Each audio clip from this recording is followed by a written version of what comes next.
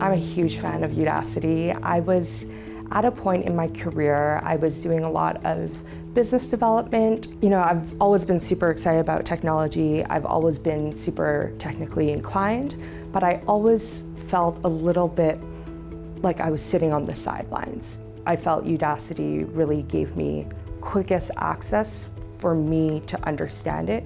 I became fascinated and I sort of fell in love with coding and I said, I'm gonna just do these nano degrees. I'm going to understand, I'm gonna teach myself. It was during my time that I was doing my full stack and data analysis nano degrees that I uh, went online and started picking up Solidity and doing my own self-directed Solidity blockchain nano degree on the side, which is now um, a formalized program here, which I'm so excited about.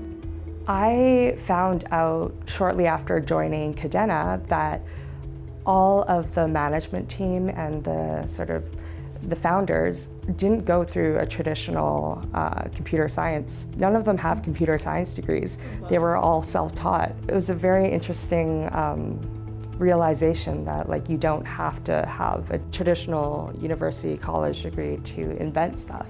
Udacity gave me this skill set to learn about the first principles of what computer science is. I still go to Udacity to brush up on certain concepts. I check out all the courses coming out on a regular basis.